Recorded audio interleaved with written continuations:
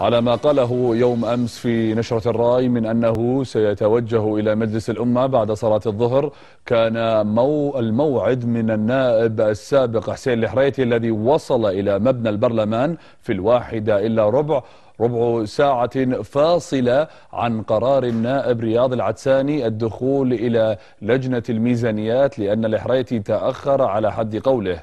حرب التصريحات سلطت الضوء اليوم على معلومات قالها الحريتي بشأن قرار النائب العام حول التحقيق في قضية الإيداعات. المزيد في تقرير لرباب بداح. صلى النائب حسين الحريتي في المسجد صلاة الظهر ثم حضر إلى مبنى البرلمان. وكان النائب الرياض العدساني قد دخل إلى اجتماع لجنة الميزانيات فتعذر اللقاء. لقاء العدساني والحريتي الذي لم يكتب له أن يتم اليوم. ولأنه تعذر اللقاء حضرت الأعذار. فما الذي حصل؟ ليش هرب اليوم؟ هرب لأنه هني ما في حصانة. بس يملك أدوات دستورية. أنا مواطن عادي. هرب. أقول لك هرب. أنا أنا حدد موعد وهو عطى دعوة وأنا جيته ما لقيته. شنو ما تصلي؟ الناس تصلي. الناس آه، آه، تصلي مساجدها وجيتك أنا. أنا موعدي مكتوب آه، معلن بالرأي. وأنا محدد الموقع بعد صلاة. ساعة أنا وصلت قبل الموعد. ساعة واحدة أنا وصلت واحدة, واحدة إلا ربع. شكرا لكم. أولا هو ما طلب أصلا موعد مسبق ولا شيء. أنا عرفت عبر الصحف. وقالوا أول شيء الساعة 12 وبعدين قالوا بعد صلاة الظهر. يأذن الظهر 12 وثلاث دقائق. انتظرنا حتى 12 ونص وأنا كان عندي لجنة الميزانيات. اليوم نعطل اللجنة.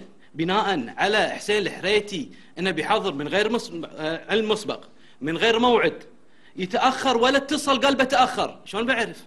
أنا عرفت عبر الصحافة إنه أنت بتحضر انتظرتك. ما يقارب أكثر من 45 دقيقة.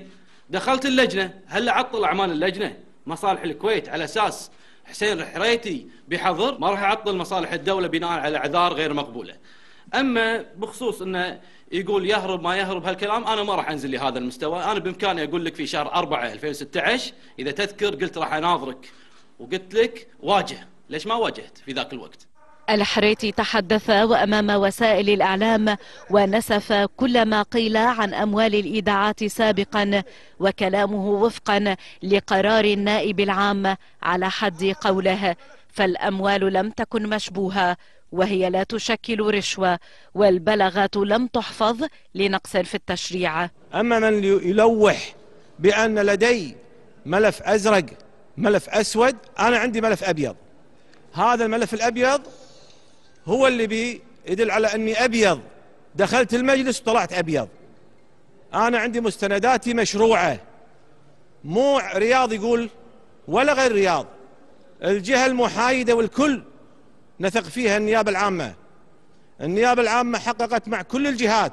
هذا قرار النائب العام واضح في آخر الفقرة فيه بأن كل التحقيقات والتحريات مع جميع كل وسائل الرقابية في المج... في الكويت ها انتهت إلى أن لا صحة لهذا الاتهام.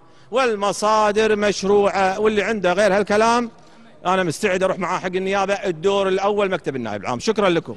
النائب صالح عاشور مغردا تساءل عن هروب النائب العدساني ومن الأخير رد على التساؤل. أنت ما حطك محامي عن حسين الحريتي أنا واجهتك في المجلس يا صالح عاشور.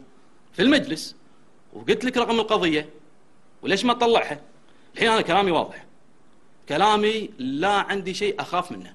خوفي من رب العالمين فقط. إذا يعتقد صالح عاشور كلامي غلط أو أي واحد فيهم زين بسأل صالح عاشور أنت ما رحت النيابة؟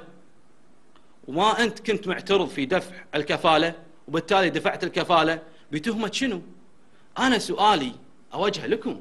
أظهروا الحقيقة حق الشعب الكويتي. أنتم كله قاعد تنكرون كلامي. أظهروا العكس. رباب بداح الرأي.